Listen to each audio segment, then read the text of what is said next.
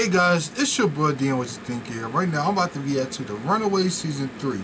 Now, I'm going to be honest, I have not seen the first two seasons. Let me know if you think this is a good show to binge watch uh, for Hulu. Because the show I've been watching was Wu-Tang and it's a really good show. So, let me start this off in one, two, three. Let's do this. Who the hell are you and what are you doing in our Oh, house? I know Seriously? who that is. Cloak and Dagger. I brought us here because whatever you did caused a disturbance.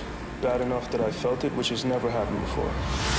So you want to have Cloak and Dagger in this. Okay. When the ship blew up, the magistrate's family took new bodies. You think that the aliens are inside our parents? on its way. There is a fourth member of the family, the most dangerous of them all.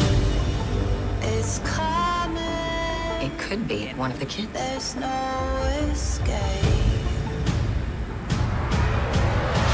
Let's not forget our other problem. What would you like, Nico? I'm here for you.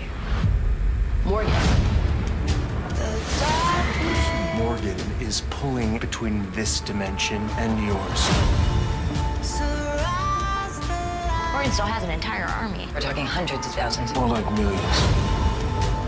Ready for. This world will soon be ours. Ready to fight. Submit to me. Thanks for the offer, but we'll pass. You know this reminds me of Teen Titans. Check me out, I'm It's driving all late. Marvel's Teen Titans. Rise, who will answer the call? What do we do now? This is sad. Where's the line? The line that you won't cross. Release you, Nico, from your fear. Ooh, that looks nice. This is survival. Final season. Oh, so this Time is the for you to final get out. Is that a threat? Is that a glow stick? Must be great for trick or treating. Okay, easy hot topic. Ready for.